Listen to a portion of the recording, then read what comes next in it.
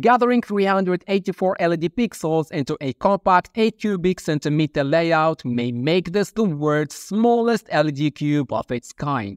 In this video, I will show you how to work with these tiny addressable RGB LEDs, each just 1 by 1 millimeter to create this cube.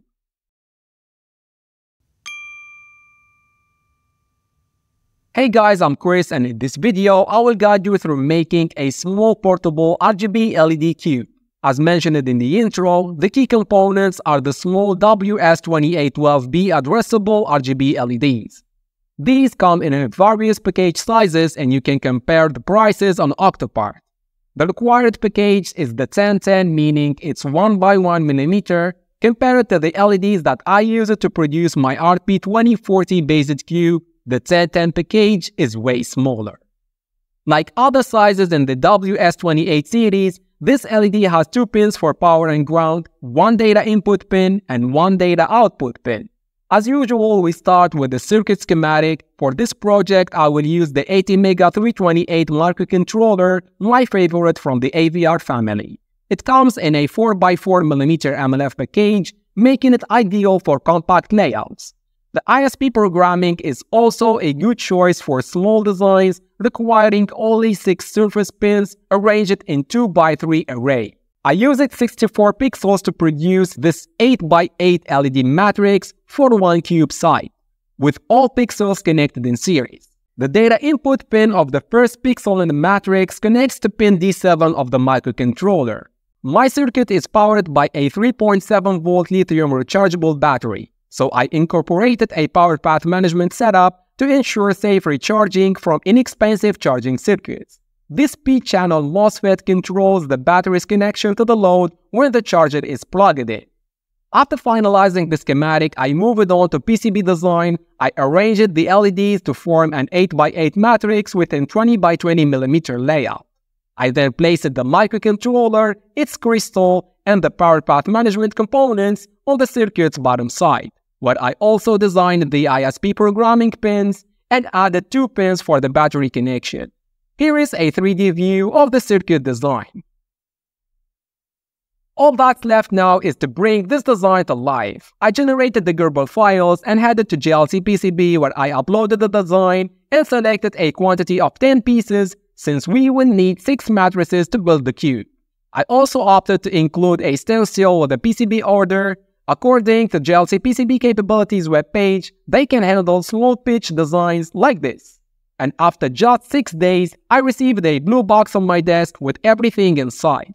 The PCBs were produced with excellent quality and the stencil arrived as well, which will be crucial for assembling the LEDs. I highly recommend ordering a stencil when working with small pitch components as applying solder paste to such high density designs with tiny pads can be challenging. Regarding the solder paste application, I initially tried a low-profile solder paste, but the results were not satisfactory.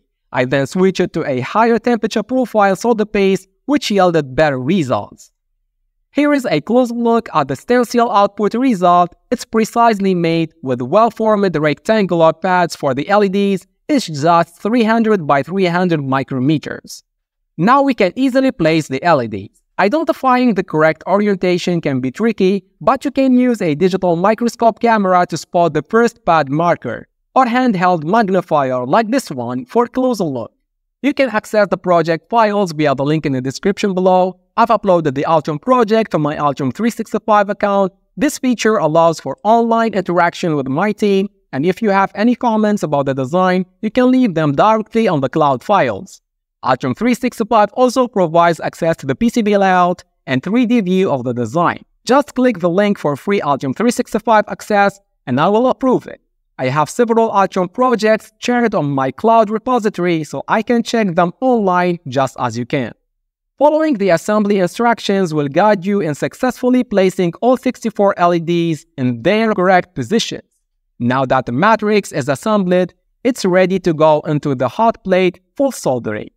I use my Miniware hot plate which is ideal for this small PCB size. Here is a microscopic view of the soldering process. Precise alignment of the LEDs isn't crucial as they will naturally align themselves during soldering, due to the attraction between the solder paste and copper pads. I then cleaned the board using flux removal solvent and repeated the process to produce 6 pieces of the cube. The next step was to test the LED connections to ensure they were successfully assembled. I verified that there were no short circuits between the side pins, then soldered three wires to the matrix side pads, two for power and one in the middle for data input. I connected them to an Arduino Nano and uploaded a test code based on the FastLED library. After confirming that all the matrices were functional, I selected a random one to be the main piece of the cube. On this main piece, I manually applied solder paste and placed the microcontroller along with its nearby components. Since the top side of the matrix already had LEDs soldered, I couldn't use the hot plate for this step. Instead, I opted for reflow soldering, ensuring to set a low air pressure. After soldering, I inspected the components under a microscope to confirm they were well assembled. I added 1.27mm headers to allow for easy connection to the charging circuit and another for power on and off. These headers were soldered to the top side of the main piece. The final component to solder was the battery, for which I used a 3.7 volt lithium rechargeable battery with an 18 mAh capacity. With the main piece ready, I moved on to software preparation. Since the microcontroller comes from the manufacturer without a bootloader, I had to burn the Arduino bootloader to make it programmable via the Arduino IDE. This is where the ISP programming port come into play. I connected my ISP adapter to a USB ASP programmer to burn the Arduino bootloader onto the MCU. I also prepared Arduino code based on the Adafruit NeoPixel library, writing some LED animations. I uploaded this code to the main cube piece using the ISP programmer as well. Each pixel matrix has side pins for power and LED data input and output pin. So the next step is to solder the matrices together in series. To assist with the assembly, I designed and 3D printed this cube-shaped frame.